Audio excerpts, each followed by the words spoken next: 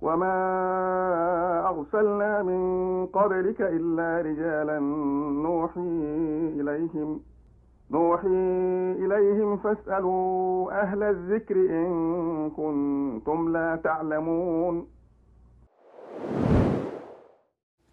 بسم الله الرحمن الرحيم. الحمد لله رب العالمين والصلاة والسلام على نبينا محمد وعلى آله وصحبه أجمعين. أيها الإخوة والأخوات السلام عليكم ورحمة الله وبركاته. وتقبل الله منا ومنكم الصيام والقيام وصالح الأعمال. نرحب بكم في مستهل حلقة هذا اليوم من برنامج فتاوى التي تجمعنا بضيفنا الكريم فضيلة الشيخ الدكتور عبد السلام بن عبد الله سليمان عضو هيئة كبار العلماء وعضو اللجنة الدائمة للفتوى. السلام عليكم وعليكم السلام ورحمة الله وبركاته. أهلا بكم بالإخوة المشاهدين والمشاهدات. حياكم الله جميعا. على بركة الله نبدأ هذه الحلقة مذكرا حضراتكم بجوال البرنامج صفر خمسة صفر واحد سبعة ثمانية خمسة خمسة ثلاثة ستة. نبدأ هذه الحلقة بهذا الاتصال. معنا اتصال أبو سعيد من مكة المكرمة تفضل. السلام عليكم. وعليكم السلام ورحمة الله يا وبركاته شيخ طال عمرك عندي المصحف حق المدينة المنورة. نعم. فيها يقول أربع خمس سجدات ما سجد فيها. إيش؟ آه، خمس أجزاء؟ ما سجد فيها. ما سجد سجود التلاوة كيف أنت ما آه. سجدت يعني؟ آخر, آخر سجدة في سورة الحج. وصاد والنجم والعلق والانشقاق نعم. وفي مصحف ال- السوري يقول أي سجدة فوق خط وجوب السجود. فابغى استفسر صلى الله على محمد.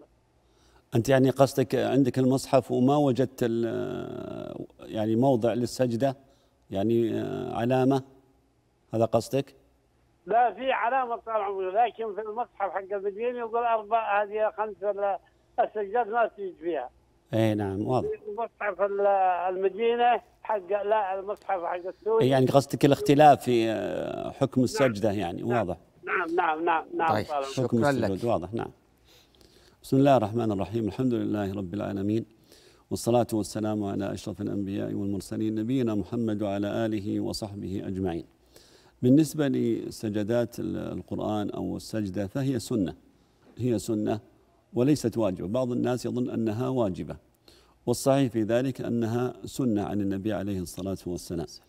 ولذلك إذا قرأ ال- ال- المسلم آه، القرآن عن ظهر غيب وإن كان على غير طهارة فإنه أيضا عليه أن يسجد إذا سجد يشرع له السجود ولو كان على غير طهارة. هذا أمر.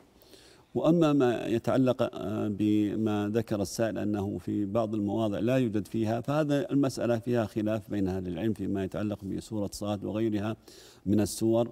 وهذا الخلاف هو آه، جاء عن آه، بعض الصحابة رضي الله عنهم وأيضا ما جاء في السجدات الموجودة في القرآن.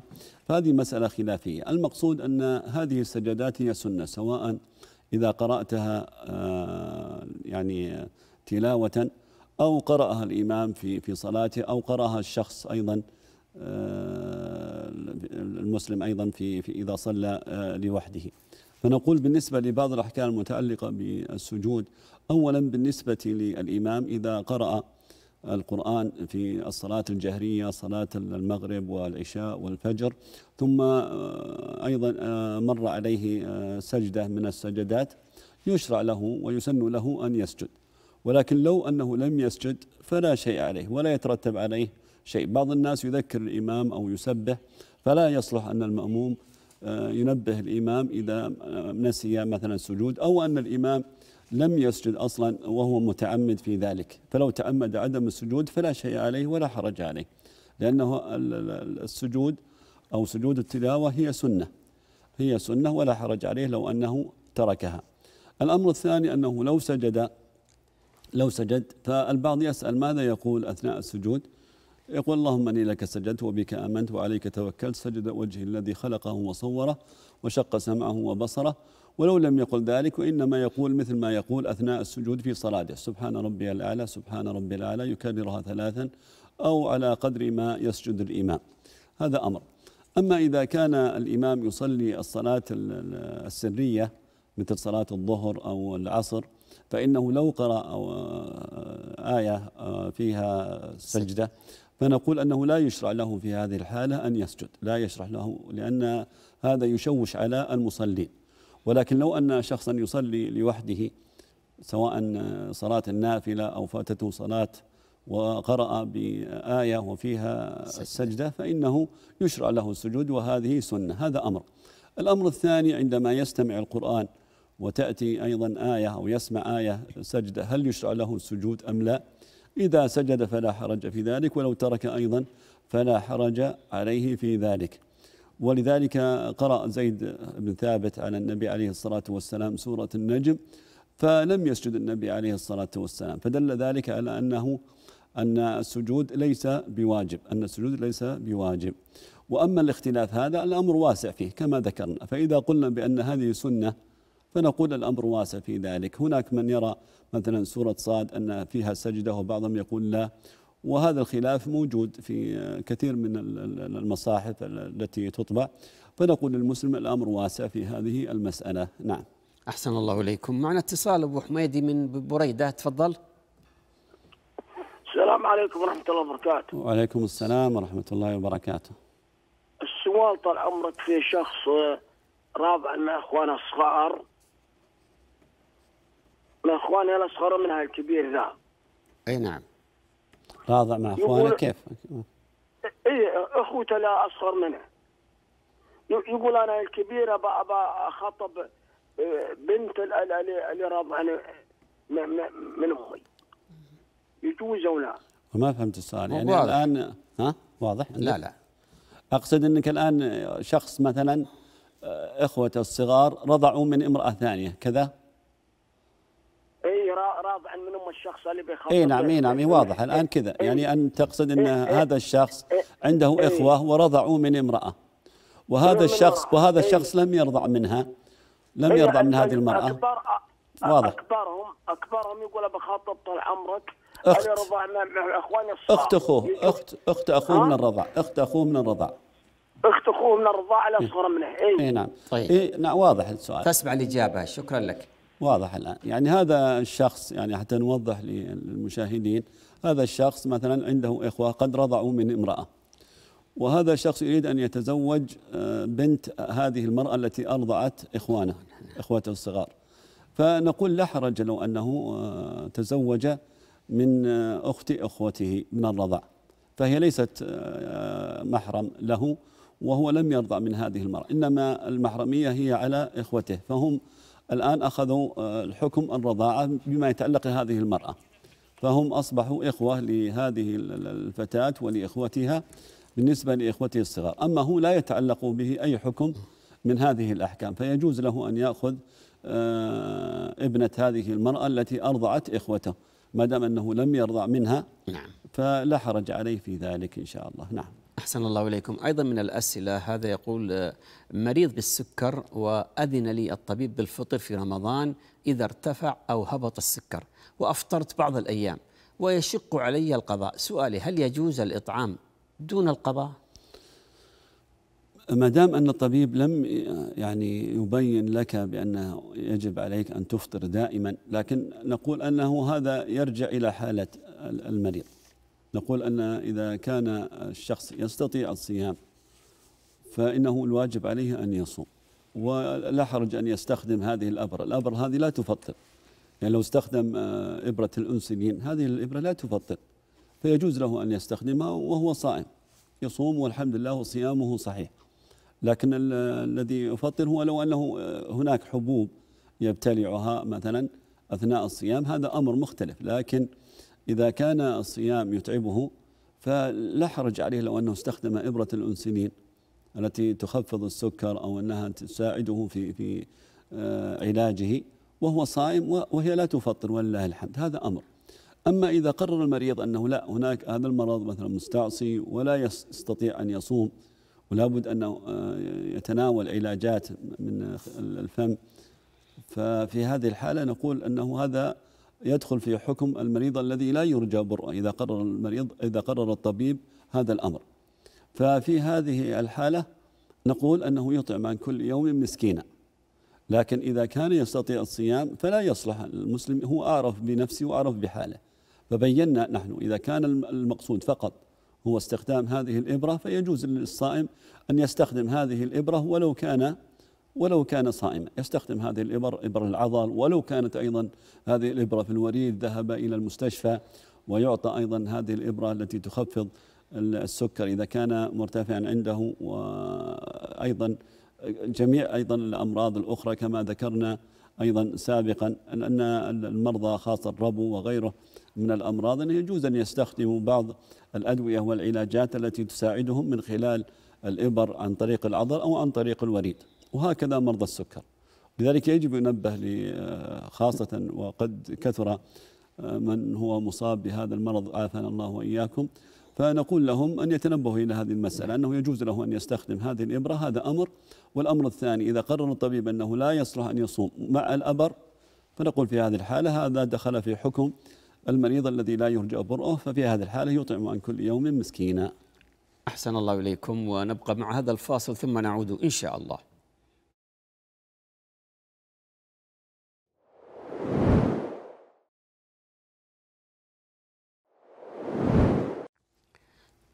أهلا وسهلا بكم مجددا ومع ضيفنا الكريم معالي الدكتور عبد السلام بن عبد الله السليمان. أحسن الله إليكم فضيلة الشيخ، هل العلاج الكيماوي يفطر في رمضان وهو جرعات بالوريد؟ بالنسبة للعلاجات التي يحتاجها المريض سواء مريض السرطان أو الأمراض الأخرى فيأخذ هذه العلاجات عن طريق العضل أو عن طريق الوريد الصحيح في ذلك أنها لا تفطر لأنها لا تدخل في حكم الأكل والشرب. إنما الذي يفطر لو أنه أخذها عن طريق الوريد وهي مغذية. إذا كانت مغذية يعني تحل محل الأكل والشرب ففي هذه الحالة نقول أنها أخذت حكم الأكل والشرب فإنها تفطر. لكن بالنسبة لمريض عافانا الله وإياكم وشفى مرضى المسلمين من هذه الأمراض وهو مرض السرطان لو أخذها هذا المريض هذا العلاج وهذا الدواء عن طريق الوريد فلا يفطر وصيامه صحيح. إذا كان يستطيع الصيام فيصوم ولا شيء عليه. ولكن لو سأل قال هل يجوز لي أن أفطر؟ نقول نعم. إذا أنت حكمك حكم المريض. إذا كان هذا العلاج أحيانا ربما يسبب له تعب وأخذ هذه الإبرة عن طريق الوريد وأحيانا تسبب له آلام ويحتاج إلى الفطر نقول جاز له الفطر في هذه الحالة. لكن لو أراده وهو يسأل يقول لا أنا أريد أن أصوم. وأنا أخذ هذه وهي لا تتعبني في من خلال النهار. فنقول لو أخذتها عن طريق الوريد فلا شيء إن شاء الله. كذلك ذكرنا أن الأدوية أو العلاجات أيضا يعني أو خاصة هذه تكثر لمرضى الربو يذهبون إلى المستشفى فيأخذ إبرة ما تسمى بالإبرة الكورتيزون تخفف الألم. فهذه لا تفطر لو أخذها. كذلك لو ذهب أيضا المستشفى وأخذ أيضا الأكسجين عن طريق الفم والأنف يضع الأكسجين على فمه وأنفه فيوضع فيه بعض المحاليل التي يحتاجها لتوسيع الشعب الهوائية. فنقول أيضا أنه لا حرج عليه في ذلك لا حرج لو أنه أخذها. وأيضا صيامه صحيح لو استمر في صيامه. نعم. أحسن الله إليكم. معنا اتصال آه، أم محمود من الرياض. نعم. السلام عليكم. وعليكم السلام. أنا عندي سؤال واحد. تفضلي.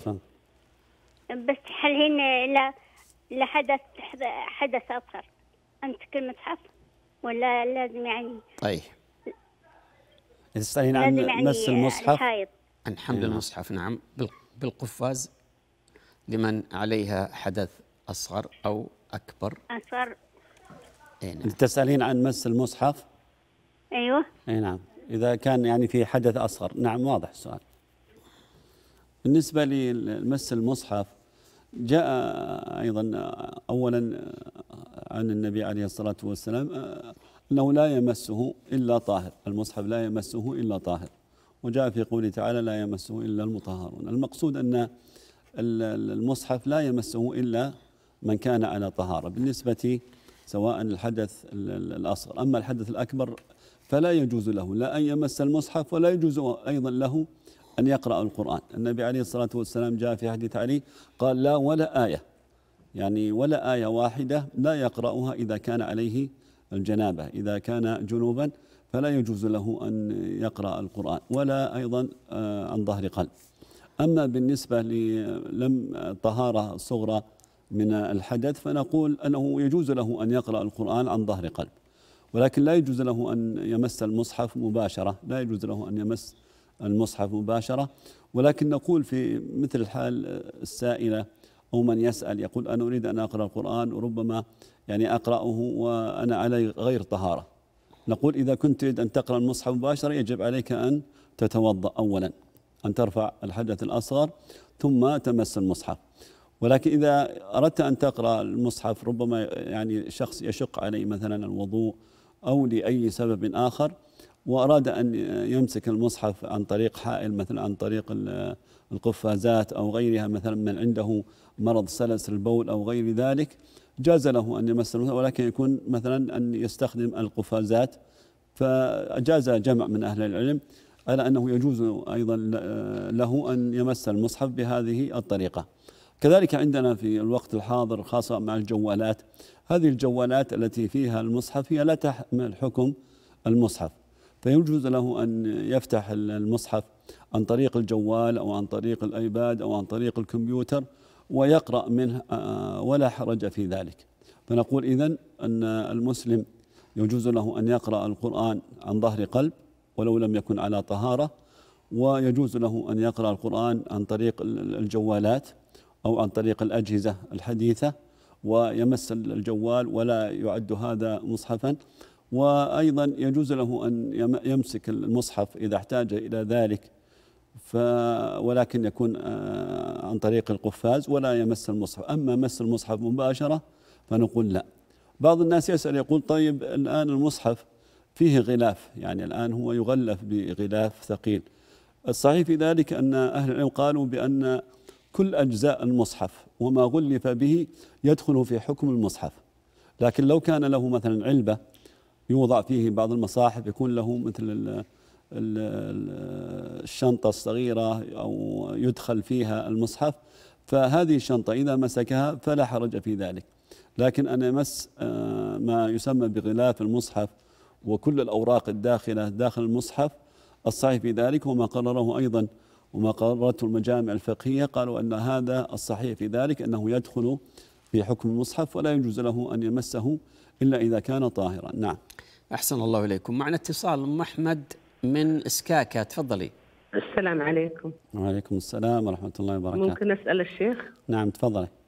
أه، لو سمحت شيخ عندي أه، ثلاث سؤالات. السؤال الأول أه، النقاب وقت الطواف العمرة أو الحج؟ نعم. يعني يجوز ولا ما يجوز؟ نعم. والسؤال الثاني قص الشعر كثير نقص منه عند ننتهي من الطواف أو السعي نعم. والسؤال الثالث البخاخ أنا عندي آه، حساسية أيه. مثل يا صمت وقت السحور خلاص الزمنا وخلاص أيه. تجيني عاده الحاله هذه ما أقدر أتنفس نعم. إن بخيت منه يفطر ولا ما يفطر بعد المساك واضح واضح. شكرا لك. تستسمعين الإجابة الآن. نعم. تفضل. أولا بالنسبة لنقاب المرأة آه، أثناء الإحرام فنقول لا يجوز المرأة أو المحرمة أن تنتقب وإنما عليها أن تغطي وجهها إذا كان عندها الرجال وإذا لم يكن عندها رجال فإنها تكشف وجهها. أما عند الرجال فتغطي وجهها ولا يجوز لها النقاب. لقد ونهى النبي عليه الصلاة والسلام أن تنتقب المرأة المحرمة. هذا بالنسبة للنقاب. وأما بالنسبة لقص الشعر للمحرمة بعد أن تنتهي من عمرتها فهي تقص من أطراف من أطراف الشعر. والقص يكون بعد انتهاء بعد انتهاء السعي إذا انتهت من سعيها. ولو كان في السعي أو ذهبت أو انتظرت يعني حتى تذهب إلى غرفتها أو إلى المكان الذي تسكن فيه ثم قامت بقص شعرها. فالمقصود أنها لا تتحلل إلا بعد قص الشعر ويقص من أطراف الشعر. يعني ولا يقص الكثير بالنسبة للمرأة. هذا ما يتعلق بالنقاب وما يتعلق أيضا بقص الشعر. هنا مسألة أضيفها أيضا وبحكم أن كثير من النساء يسألن خاصة في شهر رمضان يكثر أيضا العمرة.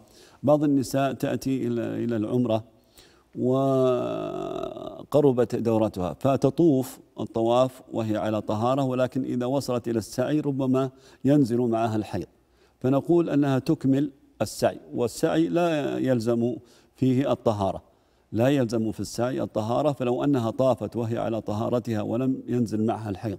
وإنما نزل الحيض بعد الطواف وأثناء السعي فنقول تكمل السعي وعمرتها صحيحة.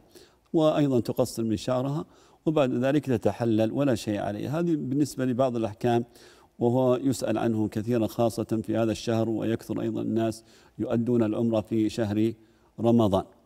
أما ما يتعلق بالسؤال الثالث وهو استخدام بخاخ الربو فنقول لا حرج في استخدامه. وهذا لا يفطر.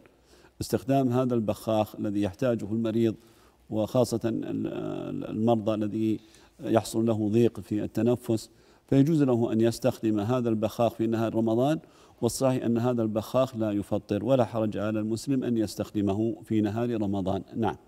أحسن الله إليكم وثابكم الله. هذا من الأسئلة أيضا. هذا مريض يعاني من الشحنات الكهربائية والتشنج ويحتاج إلى تناول العلاج في نهار رمضان. ما الحكم وماذا يلزمه؟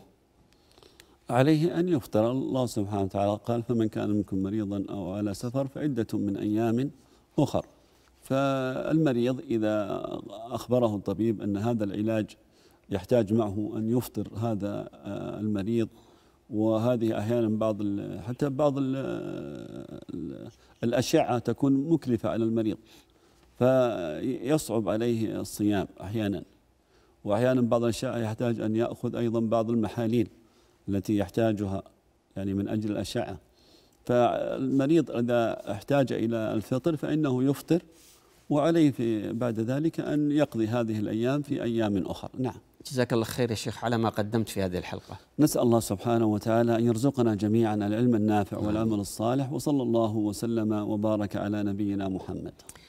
اللهم صل وسلم وبارك على نبينا محمد وعلى آله وصحبه أجمعين. إخوة الإيمان فيما مضى من الوقت قدمنا لكم هذه الحلقة وقد أجاب عن أسئلتكم معالي الدكتور عبد السلام بن عبد الله سليمان عضو هيئة كبار العلماء وعضو اللجنة الدائمة للفتوى. نسأل الله سبحانه وتعالى أن ينفعنا بما سمعنا كما نسأله عز وجل أن يتقبل منا ومنكم الصيام والقيام وصالح الأعمال. نلقاكم بإذن الله تعالى في لقاء مقبل. والسلام عليكم ورحمة الله وبركاته. وما أرسلنا من قبلك إلا رجالا نوحي إليهم نوحي إليهم فاسألوا أهل الذكر إن كنتم لا تعلمون.